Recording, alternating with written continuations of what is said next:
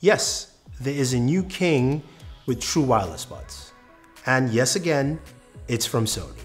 Now, before you fight me and think there's so many others out there, let's find out in the video.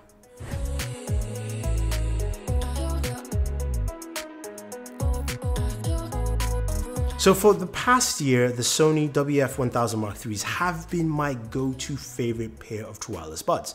In terms of audio quality, it's been impeccable. It's also got some really great noise cancellation. And where it falters is the fact that, of course, it's got a bulky case and it doesn't have that great of a microphone. So here comes the SP800N. Now, Sony, please let's change the naming structure of your, uh, your products can get a little confusing. But the SP800N comes in bringing in a lot of features that you will find familiar, but also taking things to a very different level. Now they're priced at 199 and what you have here is something of course that comes in quite a rather large case. That's the first thing you will notice. Sony tends to make larger cases for their uh, true wireless buds and that's just the way it is. The case has USB Type-C charging, which will give you uh, 60 minutes with a 10 minute charge and in terms of battery life, you're getting an extra nine hours uh, if, of course, you're having noise cancellation or an extra 13. So you can get nine with the earbuds themselves, nine in the case, or of course, it will increase with that as well. And we'll talk about the battery life in a second. Now, taking a closer look at the earbuds themselves, they are on the larger side. Now, if you compare them to the Pixel Buds or the Galaxy Buds uh, Plus, they are larger than both of them, you know, as you can clearly see.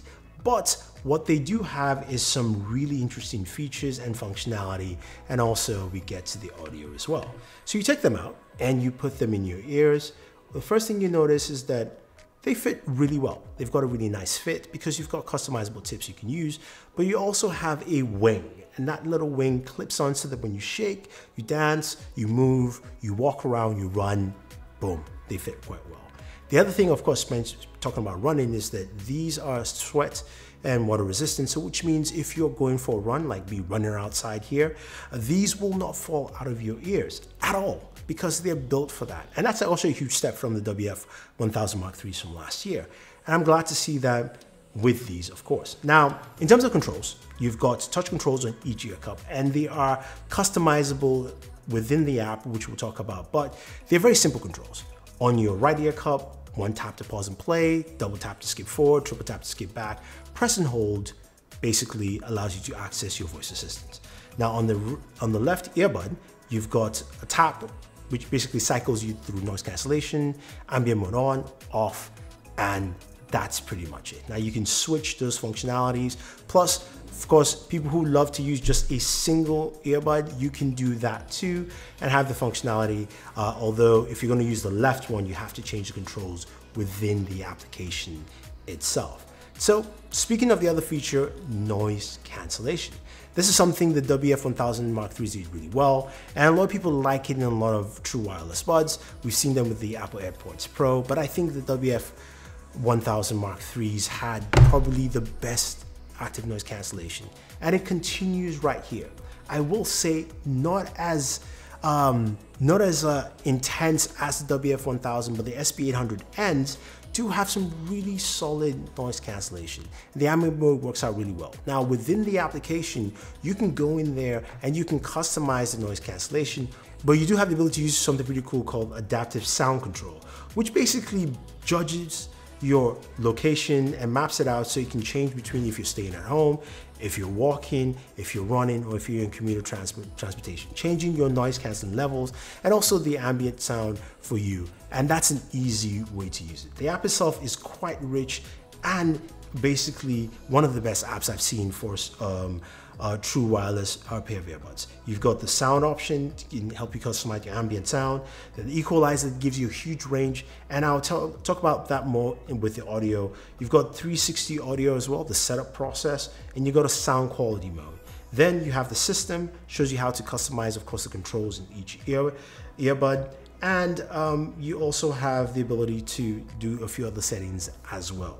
Now, when it comes to audio, which is one of the biggest things you care about, These are great. They sound really, really good. I mean, the soundstage is really nice. It's a large soundstage, but not too big, so it doesn't feel like it's floating around. Uh, these instrument separations are really clean. I mean, very, very clean. Now, when it compares to audio with the WF-1000 Mark IIIs, I think they're about the same. This is where the benefit of not having the noise cancelling levels as the WF come to play. So you get a cleaner separation between, especially when you have ANC on, between the instruments so you can hear those uh, syllables really well. You can hear the separations from your mids, highs, and lows. Everything feels really spread out within that you know sound stage and makes it so clear, so clean. The highs are so good.